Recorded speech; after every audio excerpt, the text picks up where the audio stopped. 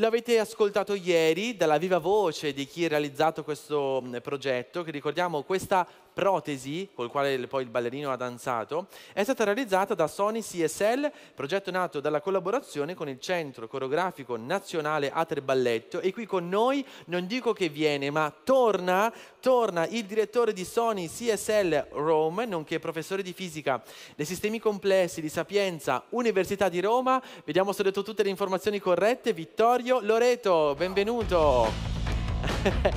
Per leggere tutta la, la qualifica ci vuole tempo, eh. Eh, Dei 10 minuti, un minuto va solo per la qualifica. Aspetta, però- senti, ma ci sediamo o stiamo in piedi? come preferisci tu? Dai, Dai, sediamo, decide ci siamo l'ospite. comodi, ci dai, sediamo, ci va bene, sediamo, siamo più fantastico. Anche perché poi so che anche tu hai portato dei- un video, no? Quindi insomma poi dopo lo, lo vedremo. Lo vedremo. Allora, ehm, ci puoi spiegare? Ieri abbiamo ascoltato dalla viva voce eh, di, del, del- del creatore, di chi appunto ha realizzato questo, questo- questo progetto. Quanto anche è stato emozionante no? e che orgoglio è stato questa- realizzare questa protesi e vederla in- in- all'azione poi giovedì. Ci puoi raccontare invece con te, voglio capire bene, come opera, che cos'è Sony CSL, qual è il vostro lavoro? Ah, Innanzitutto ieri è stata un'emozione grandissima raccontarlo e ancora prima giovedì sera, giovedì sera Vederlo. vederlo. Assolutamente. E cos'è Sony CSL? Allora, è chiaramente un laboratorio di ricerca pura all'interno della, della galassia Sony, molto particolare perché non è il classico eh, diciamo, laboratorio di ricerca e sviluppo.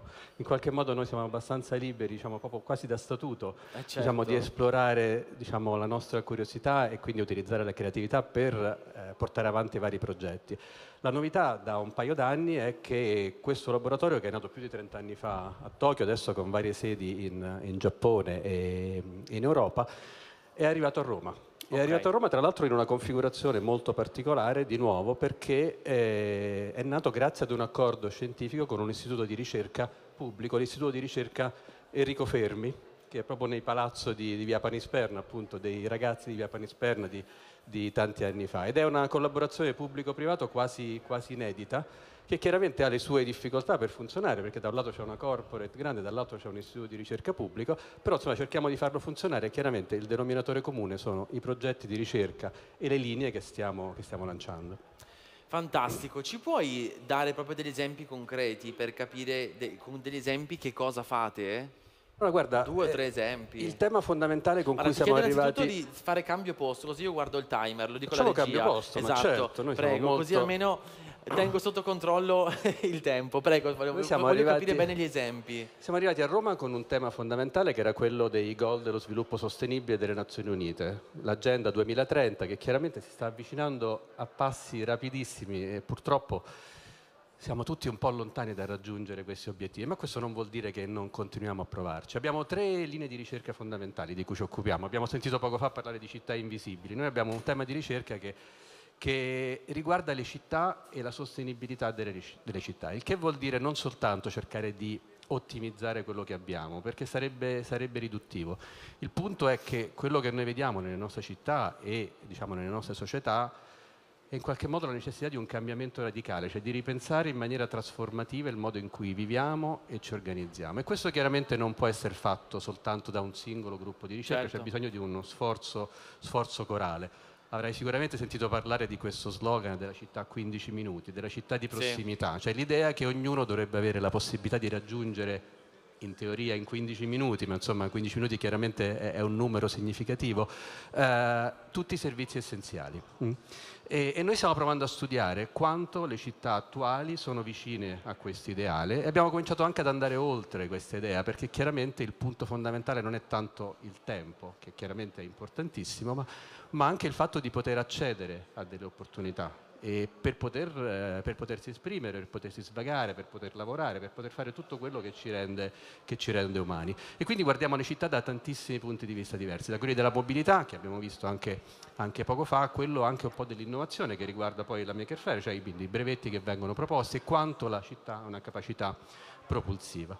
Un secondo grande progetto eh, l'abbiamo chiamato Quindi Infosfera. questo era il primo. Il Questo secondo, secondo l'abbiamo chiamato Infosfera. In- Infosfera. intendendo in qualche modo tutto l'ecosistema che gira intorno all'informazione, chiaramente le notizie, ma se vuoi... da giornalista questo in tema mi sta generale, molto a cuore. eh, immagino bene, perché chiaramente questo riguarda il modo con cui si struttura il dialogo sociale, che come sappiamo ha tantissimi problemi, quindi fake news, le filter bubbles, la polarizzazione, l'odio che si spande, diciamo, L'infodemia a un certo punto in pandemia si diceva, no? Assolutamente, assolutamente. Questo eccesso sì. di informazioni che eh, portava le persone a essere anche un po' spaesato, no? Questo overload, questo sovraccarico di informazioni. Da un lato c'è, c'è l'overload di informazioni che chiaramente ci, ci, ci, crea dei problemi, diciamo, anche per capire dove sono le informazioni rilevanti, ma eh dall'altro sì. c'è il fatto che spesso noi utilizziamo l'informazione in maniera distorta e cerchiamo di in qualche modo esprimere dei messaggi che sono forse a volte fuorvianti con questo. Quindi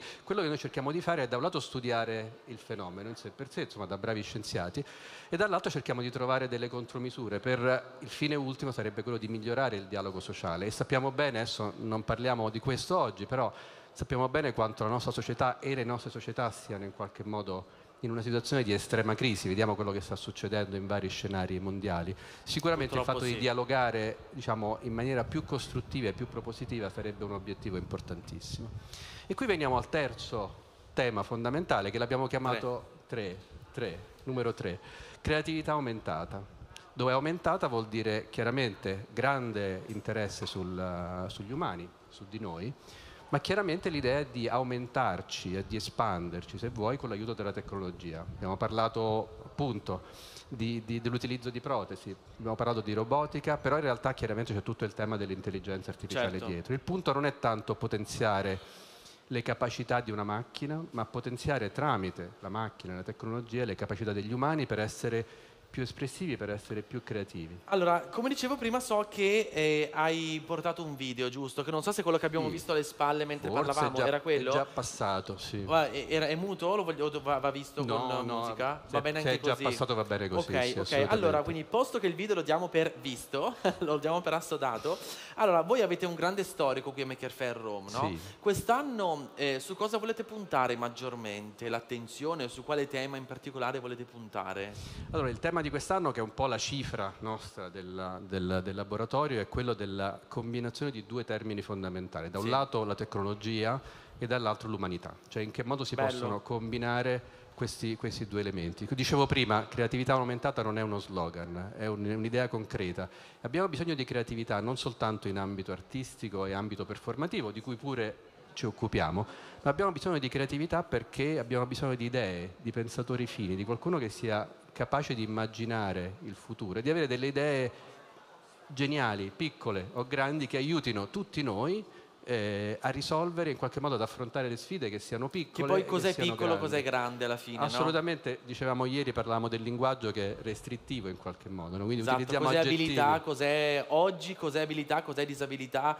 Si mette tutto in discussione proprio grazie alla tecnologia, no Vittorio? Assolutamente La sì. La tecnologia ridefinisce anche alcuni significati delle parole.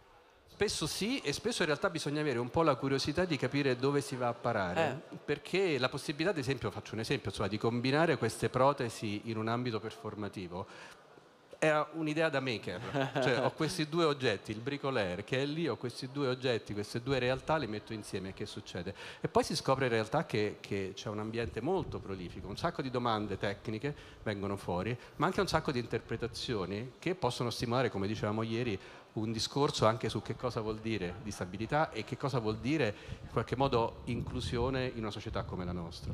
Bellissimo. Senti, te l'ho chiesto anche ieri, eh, questo connubio no? tra scienza e arte è bellissimo, no? Perché giovedì, durante l'opening conference, lo ricordo a chi non l'ha visto, c'è stata questa esibizione grazie a una protesi, no? Cioè, ehm, eh, questo ballo è stato potuto fare, questo ballerino proprio grazie a una protesi.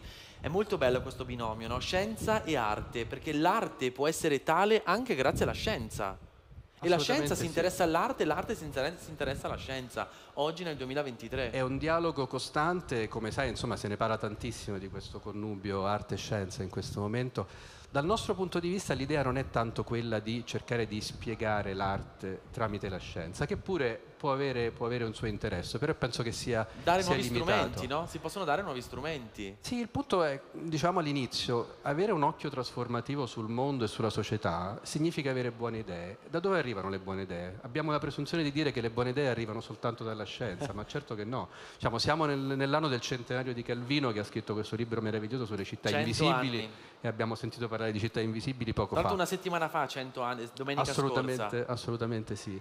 E, e, quindi l'idea è un po' quella, cercare di capire, di buttare, io dico sempre, buttare i passaporti che abbiamo, cioè ci mettiamo tutti nella stessa stanza, buttiamo Bello. i passaporti e cerchiamo di avere delle buone idee. È quello che proviamo a fare. Quindi abbiamo continuamente artisti in residenza da noi, i danzatori adesso tramite questa collaborazione con la Terballetto saranno sempre di più, però giochiamo con gli scrittori, giochiamo con i musicisti, quindi è un'esplorazione continua Bellissimo. e vediamo dove andrà a parare. Bellissimo. Dove vi trovano qui al Maker Fair? Allora, siamo nel padiglione 3, in fondo 3. in fondo, non siate timidi, arrivate okay. fino in fondo e ci troverete. Mi piace sempre ricordare il numero del padiglione così chi ci segue o chi è qua sa dove vi possono Assolutamente trovare. Assolutamente sì. Perfetto, grazie mille Vittorio grazie per essere stato Marco, qui con noi, grazie mille.